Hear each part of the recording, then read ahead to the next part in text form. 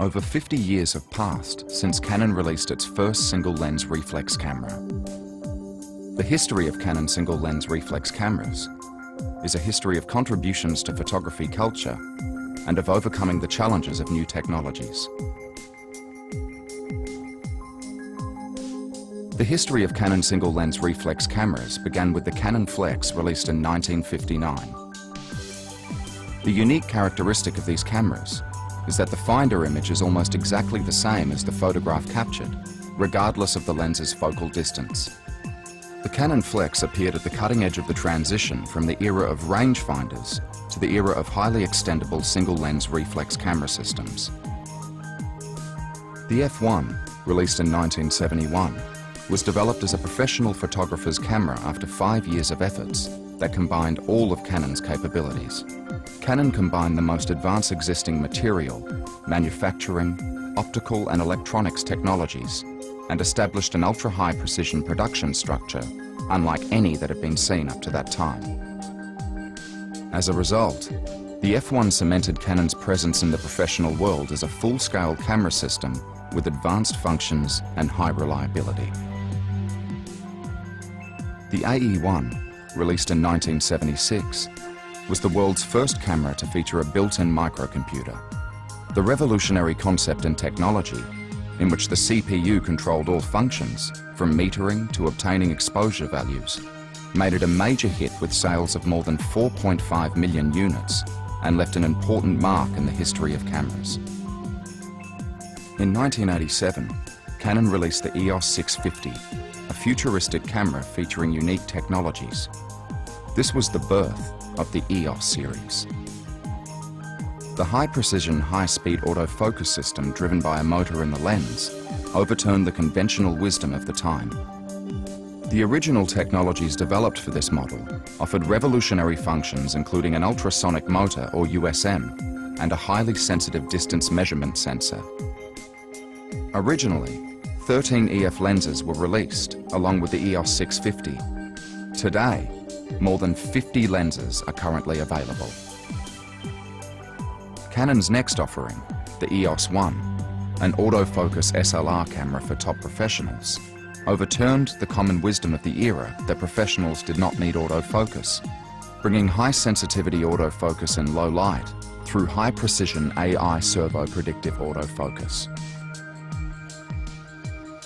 The EOS D30 digital SLR appeared on the scene in 2000. The semiconductor manufacturing technologies that Canon had been refining for many years brought to light the advantages of CMOS sensors to enable low noise, high resolution and high speed signal readout.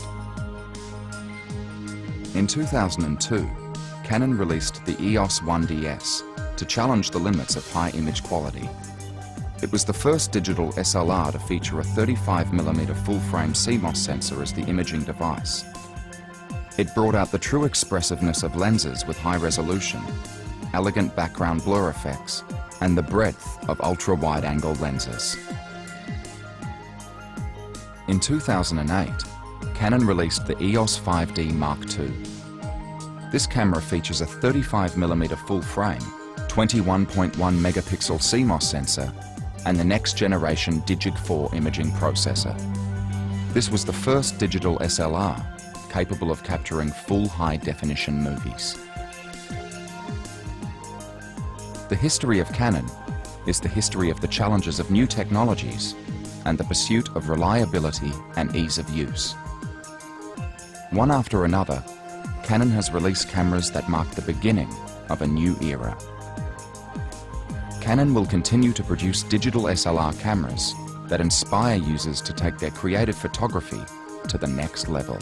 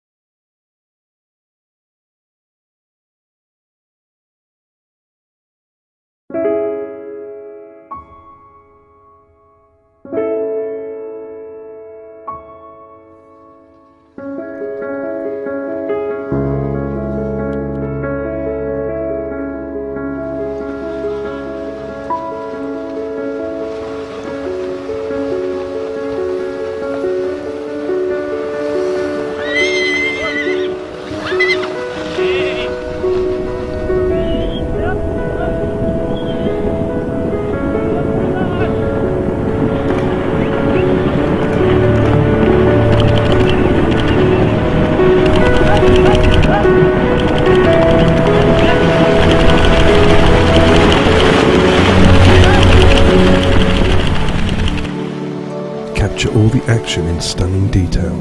18 megapixels at 8 frames per second with the Canon EOS 7D.